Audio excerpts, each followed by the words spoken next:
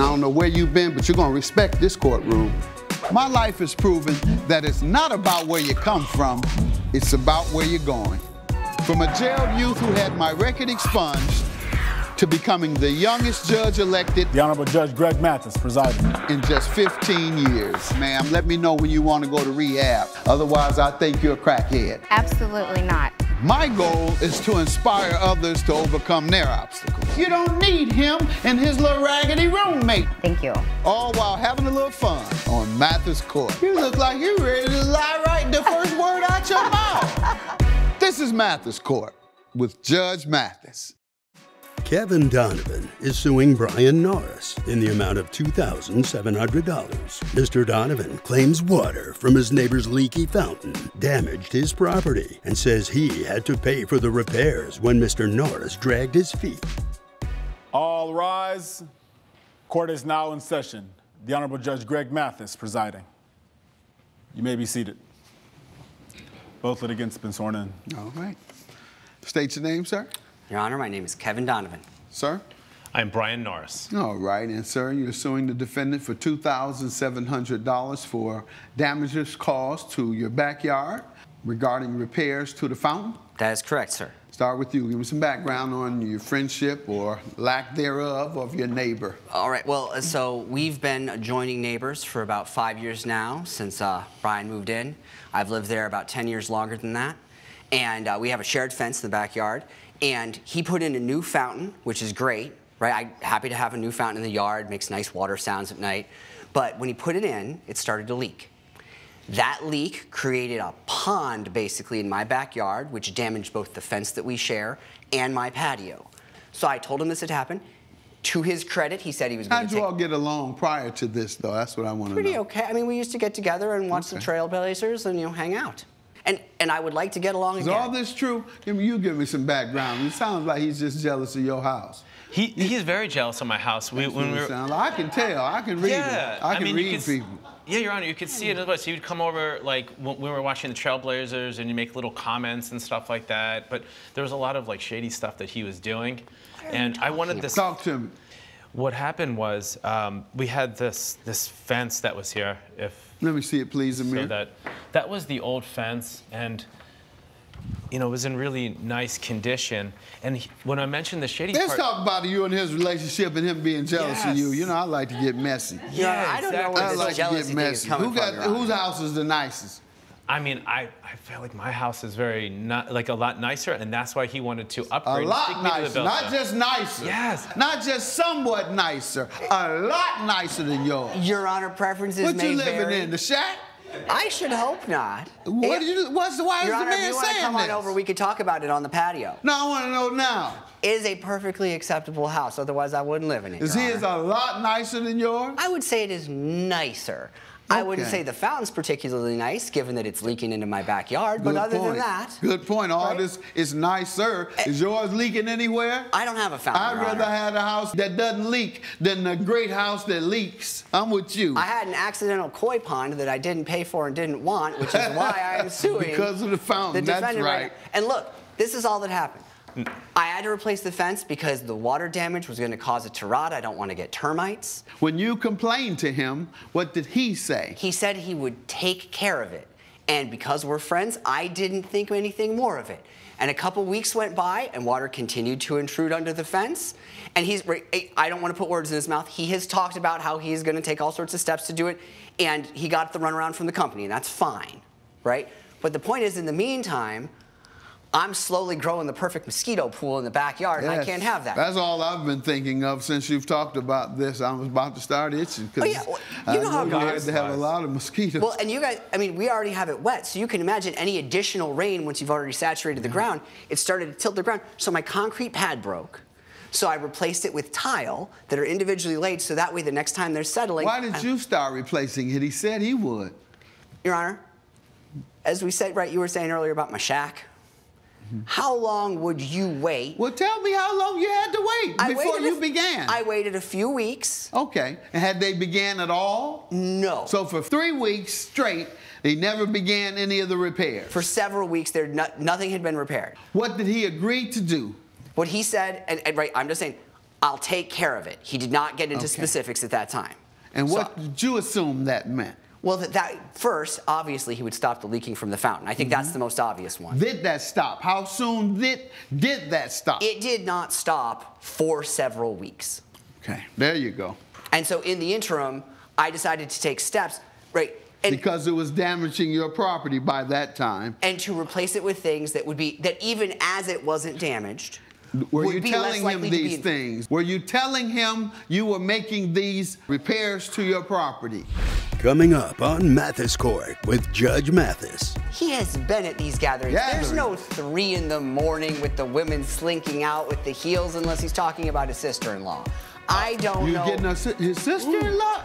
And later, All right, you ready to speak, ma'am? Nope. Sure, if anyone All will let me speak, I will speak. I keep I- asking you, this, is, you won't. this is a You waste keep- of my time, sir. This is a complete waste of my time. If you'll be in the Los Angeles area and want to bring your case to court, call 1 888 552 6878. You're watching Mathis Court with Judge Mathis. This is Mathis Court with Judge Mathis. Mathis Court is back with the case of Kevin Donovan, who is suing Brian Norris for property damage. Okay, so you took it upon yourself to do these things, and without him giving him the opportunity to know that you were doing it so that he could say, Stop, I'll do it. Instead, you just went and did it on your own. We know he had an obligation to make the repair regarding the uh, fountain, and you say it took him several weeks to get started on that. Understandable. That's too long, and you have some damages as a result. However, anything beyond repairing the fountain and you expect it, you are to ask. He take care of it. Okay, gonna take care of it. At some point during those several weeks, it should dawn on you, what did he mean by take care of it? Is he gonna reimburse me for taking care of these repairs of the, the damage to my property that was caused by his fountain? You needed clarity on that before you go spending more money. Mm-hmm. I could see how I should have communicated with him, but again, I thought we had an understanding from, from living together. I told him about how this water would damage our fence, which we share, and also damage my backyard patio, which we sit on together. So I reasonably inferred from that that when I said take care of it, that we didn't just mean we would get the fountain to stop, but I would have to continue I to have a swamp in the backyard. You caused the water problem. Excuse me? Yes. I mean, first of all, we live in Portland and it rains. As the great Milli Vanilli said, blame it on the rain. So there was a lot of rain that was coming pouring Uh-oh. down. Milli Vanilli, wasn't that the fake ones? Yeah. The fake singers? Exactly. Thank That's like you, your Honor. is fake. Thank you. Right, just like your fake story. Go ahead. And first of all, this guy's very shady. He would have all these crazy parties till three in the morning. I think when his wife was out of town, we saw this woman slinking out, holding a, uh, her heels or something. And Honor, At his you're out house, of he money. brought the woman to his house. and it hit the shack. And he's out. I think he's out of He money. won't even, stuck he won't even bill. give you the dignity of calling it a house. I call it a house. He say shack. He correct me. So you had women coming in and out of your No, home Your when your Honor, wife I don't left? know where this is coming from, Your Honor. Uh, I have had gatherings. He has been at these gatherings. There's no three in the morning with the women slinking out with the heels unless he's talking about his sister-in-law. I don't you know. getting a, his sister-in-law? That's uncalled She's a for. very int- oh please. Hold That's on. She's a very Are you married? Yes, sir. Well, you won't be after your wife sees this. She talking about you been with the man's sister-in-law. I didn't say I was with her. You I said just said could- you were with the man's sister. And wait, you ain't seen no, woman coming out in our house with slingers that unless he's talking about his sister-in-law. Yes, I'm saying his sister-in-law is the one who was a little bit too Sir, tipsy after the move- playoffs. You need to move away from that conversation about you and what you were doing with his sister-in-law while your wife was out of town. My This wife not wasn't good optics. Don't this dis- isn't something you want to keep talking about. I That's disres- promise that's you. disrespectful. Because I'm gonna cut through it, sir. If you're lying, by the end of this case, your wife is gonna leave you. Your Honor- because I will have been able to cut through all of the game that you're about to give me. I'm trained to do this. That's what lawyers are trained to do. Cross-examine until they catch the lie. Right. Your Honor, Go ahead. I just do not see what parties which which the defendant has been to at my house are germane to his fountain leaking underneath our shared fence and damaging my patio and our fence. I do not see how that is Character. in any way, shape, form, or well, manner. let me tell you, I'm the lawyer, I'm the judge. I'll tell you how it does, shape and form. Because some of that damage you're referring to could come from your parties with his sister-in-law. That's how, germane. That's how, okay, counselor? So it very well could be some of that damage he had repaired was from some of these gatherings, huh? Absolutely. And, the- All right. and if look at the, this invoice um, from Let's this take a place, look, Amir, Pacific please. Backyard Living is one of his friends. I love it when they try Our to play lawyer with me. No, Our friends. Your He friend love it knows when they that. quote the law I don't me. know him that well. That's he your best you friend. have. Oh, I'm sorry. You come over to a guy's house and Tile. eat his What's queso the him. tile? You don't marble know. him. slabs. He want marble. And he made this fence. It doesn't even look good at all. Look at this. This tall white fence. Send It's a photo. rustic. Oh, here's the. Do you have pictures, well. sir, of the Oh, marble legit, the whole damage? photo. Yeah. Of the of the damage. Your Honor? Yes, to the marble. I don't, Your Honor. Okay, because I don't see the connection. Remember, I I, don't understand what the connection is to the marble from the fountain in your house. And blah, uh, blah. So, So it- unless you got proof, unless you got evidence, you have any evidence? He got his. He has all the pictures. He has the invoice. What you got? I'm sorry, Your Honor. What I do you have? have the invoice. You have nothing? You're Yes, coming sir. here with zero evidence? Unfortunately, Talking big yes. and then talking law to me? Quoting the law? And have zero evidence? You forgot that part of lawyering? That's why Apparently when people so, want a lawyer, they need to go to law school before they start quoting the law as irrelevant and no evidence has attached to whether his fountain has anything to do with my party, sir. That's irrelevant to the case and such and such and such. No, it's very relevant and it has caused you to lose your case. Have a good day. Your claim is dismissed. You have zero evidence on, by your own admission. He has a file full of evidence that has successfully defended him from your lawsuit. Bye-bye, counselor. All right. Thank you, Your Honor. Judge Mathis has ruled in favor of the defendant. The plaintiff's claim has been dismissed. I can't believe you uh, disparaged uh, my sister-in-law like that. Hey, if she could walk straight after the playoffs. This way. Oh boy. Coming up, The inner city is not the only place where these kids bring weapons. How old is the child? 15. She was 15. She's yeah, 16 she bringing now. knives to school at 15 at a suburban upscale school. You're watching Mathis Court with Judge Mathis. This is Mathis Court with Judge Mathis. Mark Edwards is suing Natasha Glotness in the amount of $17,048. Mr. Edwards claims the defendant's son persuaded his daughter to sell knives at school and says when the knives were discovered, she was expelled. State your name, Mark Edwards, Your Honor. ma'am. Natasha Glotness. All right, and we're here today, sir. You are suing Ms. Glottens for $17,048 because your daughter was expelled after her son gave your daughter knives in which she took to school. That's what we're here for? That's correct. All right, you give me some background on you all. I met Natasha a year ago. We uh, were at a football game at our children's school. Uh, we're both uh, widow and widower, and we hit it off, and it was going very well for quite some time. Where was the school? What city? Uh, Was it a suburb, upscale, In middle Houston, class? Texas, sir. In Houston, All right, Texas. see, son, I told you, y'all got stereotypes. The inner city is not the only place where these kids bring weapons. How old is the child? 15. She was 15. She's yes, 16 he bringing now. knives to school at 15 at a suburban upscale school. Try to put everything on the inner city kids. Go ahead. So uh, everything was going fine in the relationship. Uh, some of her parenting skills were uh, questionable, and How so? well, she's very busy with her work, sir, and which is understandable. What type of work? Uh, she's running a multi-level marketing company, and uh, I understand she has to support her her son and herself. Uh, however, she's not around a lot. She's very focused on the work, so I feel that her disciplinary skills have been a little bit um, lacking. Were you all living together? No, sir. Okay. Coming up, Of What the- did happen though with the child? She was expelled, sir. There is a police report, but they did not press charges. What did she bring them to school for? She thought she could sell them.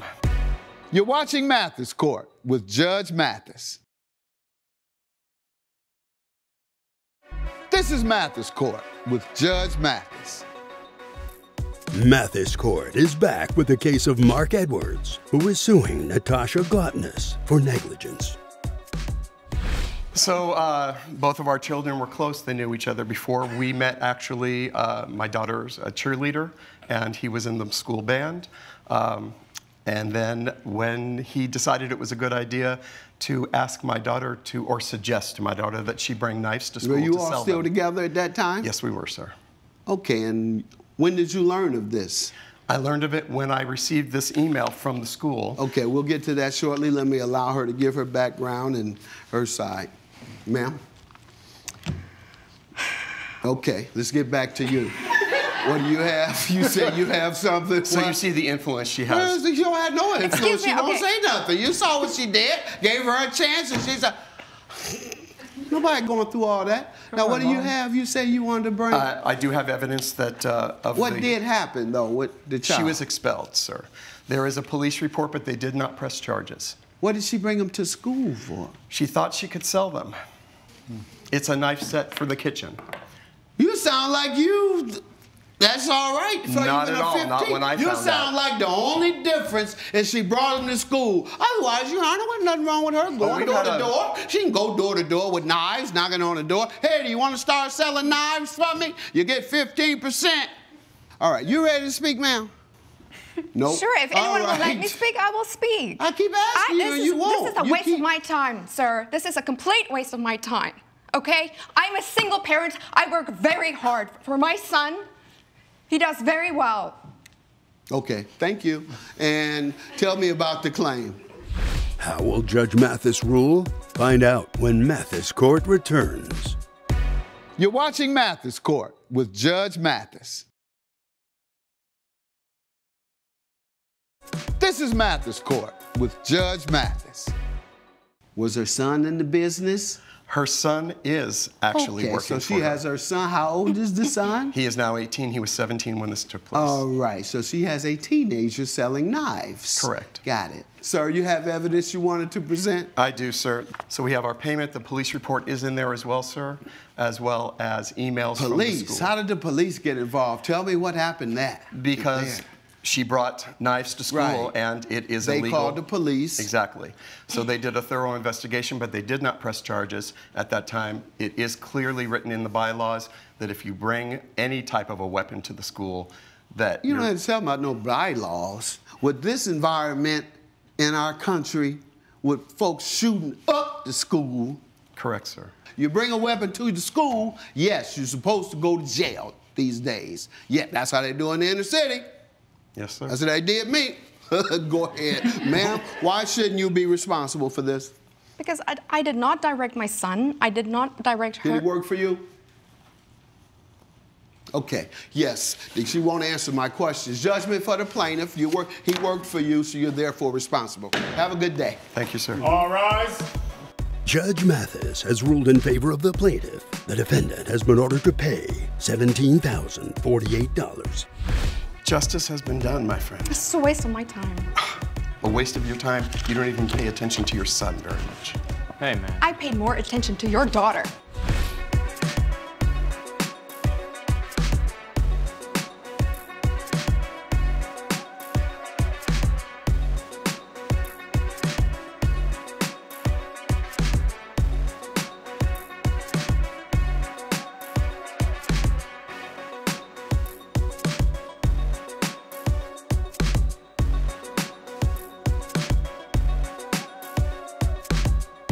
This has been a production of Allen Media Group.